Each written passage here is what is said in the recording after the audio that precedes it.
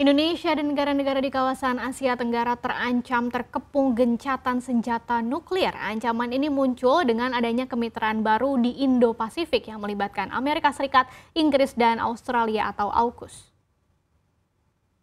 Kerjasama kapal selam nuklir antara ketiga negara tersebut resmi dimulai hari ini. AUKUS dibentuk di tengah meningkatnya pengaruh dan ancaman China pada kawasan Asia Pasifik. Presiden Amerika Serikat Joe Biden menilai kerjasama ini akan memperkuat ketiga negara tersebut dalam menjaga stabilitas kawasan. Namun sebagian negara menilai ini bisa memicu geliat perang perlombaan senjata nuklir di kawasan. Institut Penelitian Perdamaian Internasional Stockholm, China sendiri juga diketahui memiliki 350 unit senjata nuklir, ketiga terbanyak setelah Amerika Serikat dan Rusia. Di Asia selain China, negara lain yang memiliki nuklir adalah Korea Utara, India, Pakistan, dan Israel.